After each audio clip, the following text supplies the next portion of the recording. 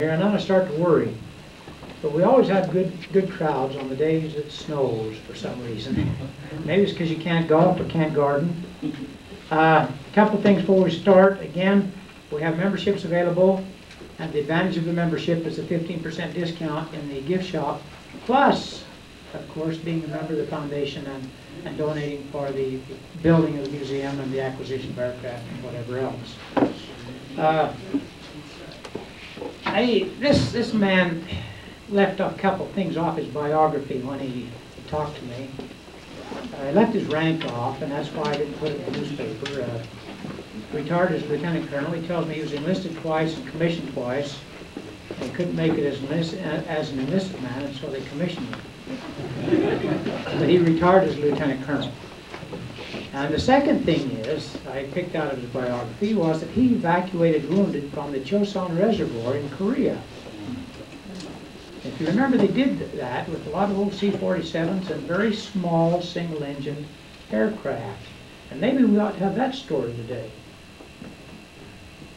Maybe we'll bring him back to let him tell that story. Uh, But Colonel Moseley, we'll turn the time over to you, and the hour's yours. You can run it any way you want to, and, uh, oh, don't look for a clock. We quit when you're finished.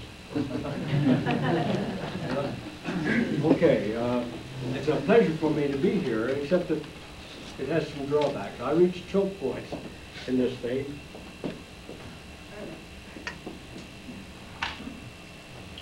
Somebody run home.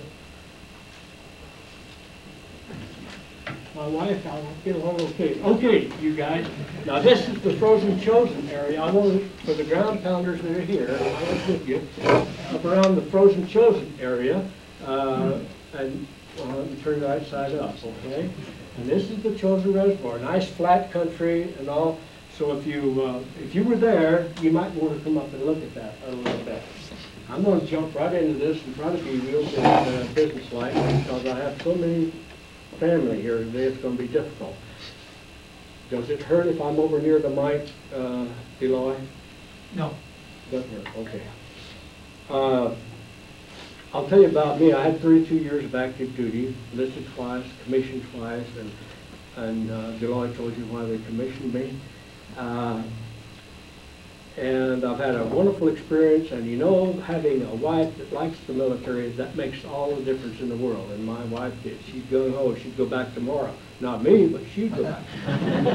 Okay. Uh, I was born in Texas, uh, but I claim Delta, Utah as my home. I graduated from junior college down in Dixie where I met my wife and we got married not long after that. Uh, Then I went, I enlisted in 1942. Uh, I got into aviation cadets in February of 1943.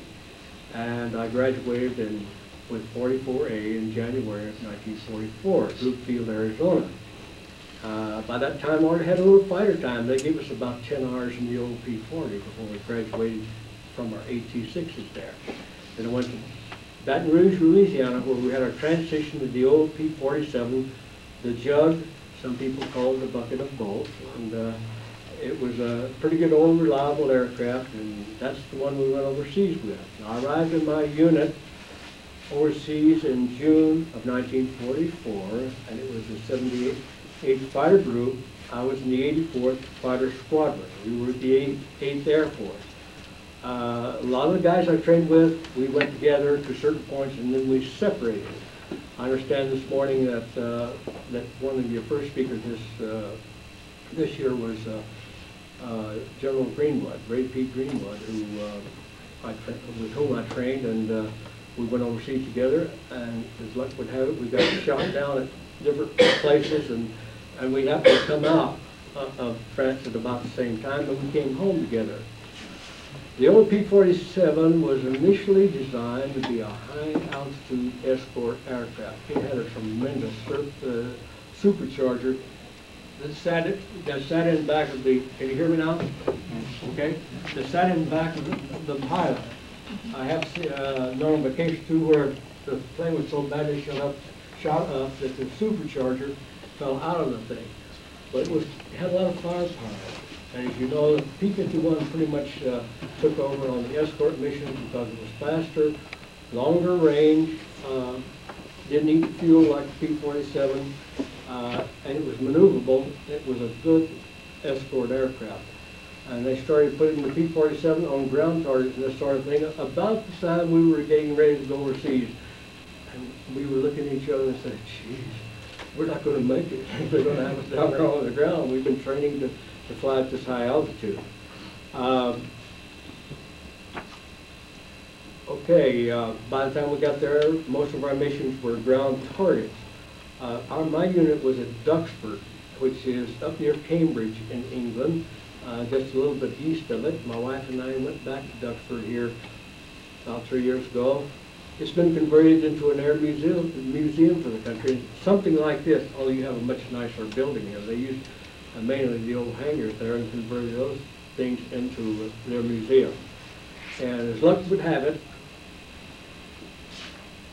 the plane I flew from Duxford was the old P-47, and they had one there in the hangar. They rolled it out later, and when they found out that I had flown that plane from that field, not this particular aircraft, but the P-47, they had, let me get up and have my picture taken. Uh, that was one taken in 1944. And The reason I stuck this one here is my oldest son was a project officer on the 117, and he uh, also was a test pilot with it, or worked with it something like four or five years, uh, long before we knew it existed. Uh, Okay. By the way, our field was a grass field with some PSP on it, and it it allowed, uh, it was wide enough that four ships could take off abreast, which was really facilitated our taking off and joining up with the rest of the squadron. Because we took off with one ship or two ships or something like that, everybody had to find who they belonged to and join up and before you go on your mission. Uh, So it was really uh, nicely set up for that. Uh, Joshua, will, will will you go in and ask them if they've got a cup and I can have some water? Okay. That's not Joshua. That's the power behind the throne. They just did that. Okay. Uh, On July the 4th, which was my third mission, let me tell you about my first mission. Uh, we took off and uh, we were supposed to go and hit an airfield which was northwest of Paris along the Seine River no reported any aircraft in the area. Well, we got there and we made our dive bomb runs. Uh, I had a bomb hang up on my aircraft, and after everybody else was through of the squadron, we had 36 airplanes there, they said, now you go back with the other two guys and see if you can shake off that bomb, which was hanging by one end of it on that, uh, what, what do you call it? Shackle. Shackle, that's right. Okay. But see, we had already armed these buggers, uh, and you did that by pulling up the lever on the floor. If it hadn't dangled, there's a possibility that you can push that thing down again, and the pin will go back in if you're lucky. Um, There happened to be three of us that day, so by the time we got, they had us try to shake this thing off. When I went back, they had a lot of anti-aircraft fire, you know, puffs of this, black and white stuff. Thanks very much, you know.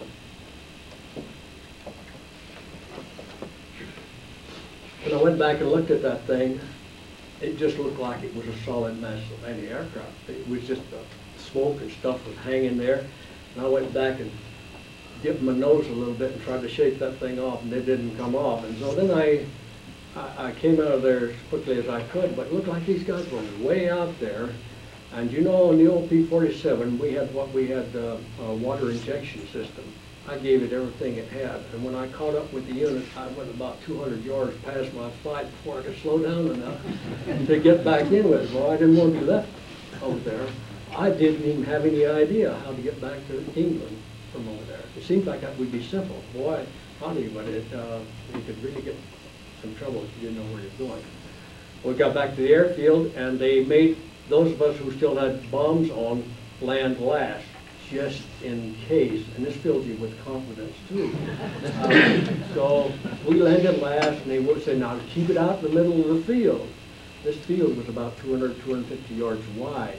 So we did that, and uh, we all got in okay. But they told us a story about a, a guy who had previously had the similar trouble, and his dropped off and exploded and destroyed the aircraft and him as well. So, here we go for my third mission. We're up to third mission, that's the last one. Uh, we got about three thirty in the morning, uh, we went and had a quick breakfast, we went for a briefing, and then we went out, kicked a tire, and, and climbed aboard, and we were off about five or five fifteen in the morning. And Again, we were supposed to go and get another hidden airfield somewhere in the vicinity of Paris. Uh, uh, After we got airborne and we were out flying out across the channel and, and and we penetrated into France. Now, we, we picked up flak as we crossed the shoreline. As we, uh, and it to me, that's where looked like it was heavy, but they said it was nothing really. And uh, I'm sure the bomber pilots would, would agree. They only threw it up there because they were supposed to, I think, at that point. Uh, But these guys kept calling in bogeys. And we had a mirror sit, sitting right up on top of the canopy. On the old ones, we sat right up there. And you could look back and see, and they'd say bogeys three o'clock, and I'd go, they'd say six o'clock. I never saw them. And I said, gee, you know, I'm gonna get shot down. I can't even find these doggone guys. Well, anyway, as we went along, and we got along the Seine river, uh, clouds started accu- accumulating down low on the deck, and by the time we got to the vicinity of the target area, it was, uh, it was not possible to proceed to that target. So then, in all of these cases, you go back and look for targets of opportunity. Well, Rouen, they pronounce it Rouen, that's where Joan of Arc was burned at stake, was a major crossing point for the German soldiers going either reinforcing or retreating. Uh, And we knew the weather was good there, so we went back along, along the Seine, picked up these vehicles and troops and whatnot on one side of the, the river, and then we proceeded to give them all we had. See, now, we still had our bombs, in which we, you normally get rid of those on your first run, which we did, and then you come back and spray the heck out of everything. And when you got eight fifty caliber machine guns, you can really chew up lots of stuff. Uh, I don't know whether, are any of you old Army guys here? Is any old Army guys here? Okay, we- Army Air Corps, you remember? That's what we were in, uh, back then, so we were Army at that time. But they had these quad fifties that they mount on either a, a small, uh, track, uh, vehicle. And gosh, you know, they can shoot up a building pretty badly with just four of those. So with eight, we had a lot of firepower. Each weapon had about three hundred sixty-seven rounds. And you could expend it all in twenty seconds, or, which you normally didn't do. You know, you normally, you're, uh, if you strafe, you'd be two or three seconds or four seconds, something like that. Well, anyway, on my second pass in there, I dropped my bump. I was coming back to do some strafing. I heard something real loud and felt the bump. Now, I had felt some bumps before, but they were prop wash and stuff like that from other aircraft. Because you get 36 aircraft milling around, you really turn up the air. And uh, sometimes it becomes more dangerous uh, getting knocked down with one of the other aircraft than it is by the enemy. But by the time I got back, those guys were ready. And if you recall, they had trucks that had plywood side boards up on them. They could drop those, and that disclosed their anti-aircraft capability. They, they knew how to use those, and the German soldiers were really good. Anyway, I heard this loud explosion right near me, and I felt a, a bump in the aircraft. Then I started picking up oil uh, on the canopy, and so I, uh, I knew that I'd been hit. And I climbed out, and the, the aircraft was running pretty good. But I called and said I'd been hit, and the leader then assigned a, a, a pilot to escort me back. Now, this is July the fourth, June the sixth was D-Day. Oh, it took those people a long time to get off of that beach area down there. They were out on the end of that peninsula for so long. Well, they were still out there. Uh, the idea was now I'd been hit, there was no, no telling if I could make it or not. So we uh, started back for the, our lines, not directly towards England. And then things were going, okay, then, then we, then we try to fly across the channel to England. Well, and uh, maybe two, three minutes, it began rough, running rough. I switched tanks, I did lots of things, and I knew I was in trouble because I couldn't get enough power to climb. But I had gotten back up to about 3,500 feet. And if you subtract about 800 feet from the ground, so that made about 2,700 feet above the ground. The thing quit a couple of times, and buddy, the old hair stood up on the back of my head, and my palms got sweaty, and all that stuff. I said, oh, gee, third mission, you know, they shouldn't do this to me. Anyhow, I, uh, uh, it finally quit, it finally quit. Well, a couple of times I had already unhooked my oxygen mask, which was okay, we were low altitude. I'd even left my radios and was getting ready to get on the thing. And the thing start catching again, boy, and I'd get back in again and, um, finally it quit. And you can imagine, that was a great big old four-bladed prop on that aircraft, what kind of drag it had. Now, you guys that flew in the big guy, uh, big planes, you remember they, they, they had a bad engine or something like that, they feathered the engine. Well, here was this thing stuck frozen in, in place.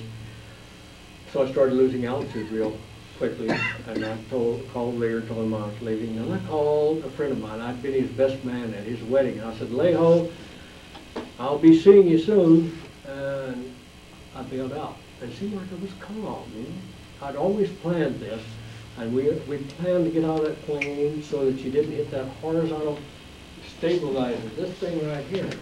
See that thing right there? That could, that could chop you in two.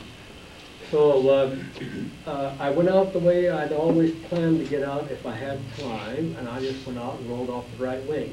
Another reason for doing this, if the engine was running, there was torque created, and if you went off the right side, it would carry you away from the plane and, and maybe away from that horizontal stabilizer. A lot of guys turned it over on their back. I think there's somebody here that uh, was telling me about uh, their their relative rolled theirs on the back and, and then they just dropped out, undid their safety belt and away they went. I hope they unhooked their oxygen mask and their because give them a real long neck before they got. Uh, Okay, so I rolled out and I finally reached over well, I didn't final. I think I had a hold of that thing when I went out and got on. I didn't want to lose track of it. And then uh, I pulled this rip cord. First of all, I was tumbling a little bit, so I'd stick out an arm or leg and try to correct that. And didn't realize, but I was using, losing up a, using up a lot of altitude. So I pulled this thing, and it seemed like forever before that shoe popped. But when it did, it just seemed like it pulled me right back up in the air. That's not really what happened, but uh, it felt that way. And I hit the ground. I never saw it. I never saw it. I was that close to the ground. And I'll tell you something here in a little while that just will tell you why that was a good idea. You know, I was a pretty clever jumper uh, because nobody could see that from any distance. Okay, I hit the ground. And next thing I know, I'm taking this parachute off. And I looked down, I saw a pair of feet. I kept looking up. There's a man there. I- Boy, he's about forty. Here's this, this tall gentleman here in the center with a, with the blonde hair. and I looked at him, and he looked at me. I was scared, and he was scared. Uh, I didn't know any French, not a word of French did I know. So I, finally I said, hello, uh, with all the courage. Shall I take off this chute and run for it? Which was a real bad idea. But we had heard some of the French were collaborators and uh, would turn you over to the, the Germans. So I, uh, but I said, hey, this is it or it isn't. Well, I said, hello. And pretty soon he kind of ascertained that I wasn't a German. He didn't know whether I was a German or not. He had to be very careful how he handled me. And he, he made signs of rolling up the parachute. And I said, yes. So we rolled up the parachute. We ran up to one of these little sheds and buried this thing in the wheat. And then we went in the house, and he called his wife, and she came out, and she was horror struck. Uh, my mom came out, and she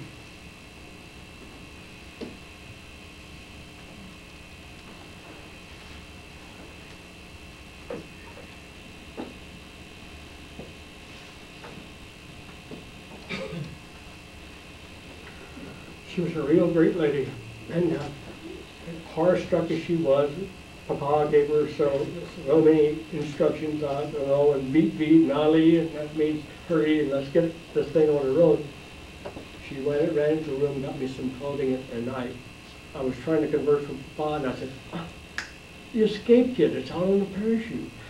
So back we went out to the, uh, the wheat, and we dug that parachute up and pulled off that escape kit. There was also another little packet I noticed, so I pulled that thing off and ran back into the, the kitchen and uh, opened up this escape kit and it had some little small compasses that you could hide in the orifices of your body or somewhere, and some little compact uh, meat, I mean food supplements, uh, some money.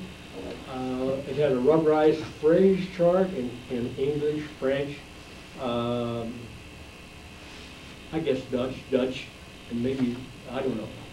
Anyway, might be in Spanish because some of our people walked out through Spain in those days.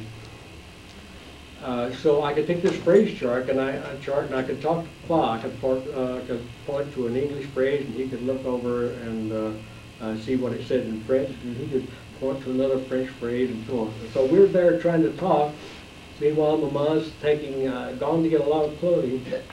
She brought it out and dumped it on the floor and they were telling me to take off the clothes and I'm still trying to talk to Pa. And one of the things I said, where are the Germans? And he just, well, just like that. I said, oh, hey, you know, it's not for me.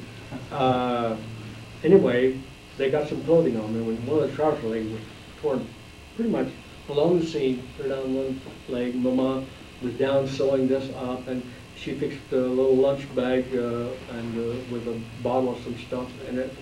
And that was about, oh, by the way, though they, he had run to get his son up, who was about a year and a half younger than I, Bernard. Bernard came in and, and he came on, uh, by that time, Papa knew that I was not uh, Angleterre, he thought I was uh, British, that I was an American, and boy, he announced that when his son came, and his son ran over and grabbed me, you know, and gave me those kisses on both cheeks twice. Uh, and I had a bloody nose, and I'd wiped it off, and I had little scratches on my face. I'd never been kissed by a man in my life. I didn't know, you know, I thought, hey, this is, this is a different culture. Anyhow, uh, Papa grabbed me, and out of the house we went, and uh, with I had this lunch bag on my shoulder, and as we approached the front gate, we could hear somebody walking up this little lane, a little gravel lane to the front gate, and he he says, quick, into the little shed. He put me into the end of a big barn, had a little shed on the end of it, and I got in there. And the old man came to the gate, and he told, told Papa that he had seen the airplane go over, and he saw something falling from it. And what he thought it was, was a fuel tank, because uh, I learned that the, um, the French in that area would take these metal fuel tanks, and they would cut them halfway in two, and they'd open them up and use it on water trough for their, for their stock. Uh, and Papa says, uh, well, I think it's out in that wheat field, about a quarter of a mile long, so the guy took off, and, and Papa came back and got me. But before we left the little shed, I took off all ID.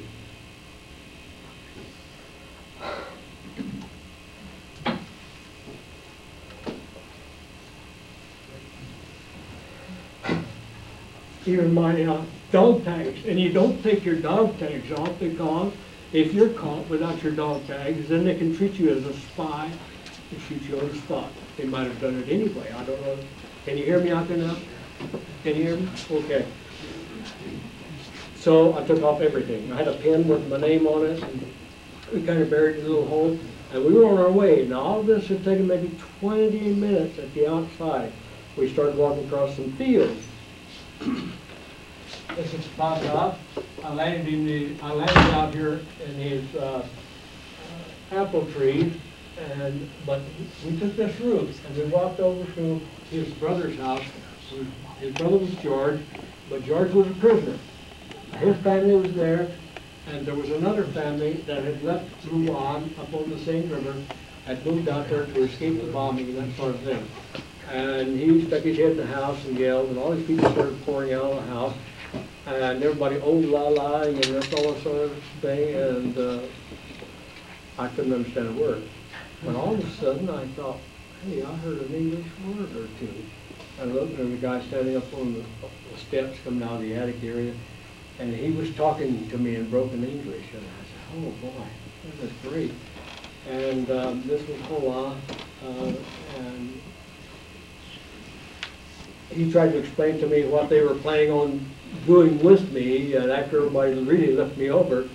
And so they took me, he and Papa and I, then walked out through the farm, and we walked out to this part right here. Now, this is supposed to represent a forest. It's one of the largest forests in, uh, in France. It's a Brotonne forest. And it- these people were all there real close. Most of this area out this direction was pretty clear, even of uh, hedgerows and things. As you got into this area here, there were a lot of hedgerows. Anyhow, they took me out and they put me here. Now, I had my lunch bag, and that's all I had. And Hola explained to me that uh, he would be coming back and forth to see me, and he'd bring me some blankets and stuff like that to lie out there in the forest. They have heavy dews. Our hard rain uh, probably would be about equal to one of their heavy dews over there in this part of Normandy. Uh, and in this corner, the forest was pretty clean underneath. There was this little road that went by, but there were these very tall ferns uh, in this particular corner, and they sat me down in that, and then they went off and left me. But Hola, before, now his name was Roland. Hola is the way the French say. He said, when I come back, he said, I'll whistle, whistle while you work, from Snow White and the Seven Dwarfs. Any of you know that song? Whistle while you work? Okay, that sounds, oh, hey, that sounds really unusual to me. Uh, and he came back towards evening, brought me some bedding, and brought me a little bit more food or something. But okay, I'm sitting out here and it's, uh, what, seven o'clock in the morning, still real early in the morning? And I'm sitting there, uh, you know, I've had a lot of bad dreams in my life, but this is one of the worst ones I can't, this cannot be me. I just was having a hard time coming to grips with the fact that this was me sitting in this forest. And I, I even pinched myself, you know, give me a little knock on the head. And I listened to the, I listened to the, um, oh, the doves, wild pigeons actually, and they had a cooing sound. It sounded like shoo shoo baby, if you remember back in those days. The rhythm and everything just about like that. I sat there, and my ears, I could pick up every sound imaginable. Well, hold on, came back out, brought me some food stuff, and I bedded down there up there that night. And the next day, oh, hmm, no, he